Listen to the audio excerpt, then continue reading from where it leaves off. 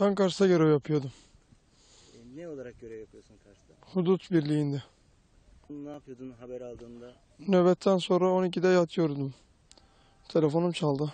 Açmadım. Sabaha karşı uyandım bir baktım telefonumu aramışlar. E, kim aramış? Babam aramış. Açtım telefonumu. Kimseye ulaşamadım. Tekrar aradım. Ondan sonra abimin haberini aldım.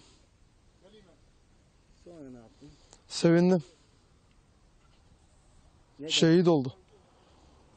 Kimsenin olmadığı şey oldu. Şehit oldu. Vatan sağ olsun. Ben de görev yapıyorum. Ben de askeri personelim.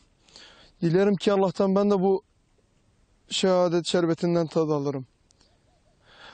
Bu gördüğüm bayrak için canımı veririm. Gerekirse bin canımız olsa yine veririz. Düşman erkekse gelsin önümüzde konuşsun. Onlar göğüs göğüse çarpmayı bilmez. Buradan Baydemir'e sesleniyorum. Erkek sen gel. Biz buradayız. Bu bayrağı yere düşürmeyeceğiz. Var oldukça askerimiz düşürmeyecek. Diyeceklerim bunlar. Vatan sağ olsun.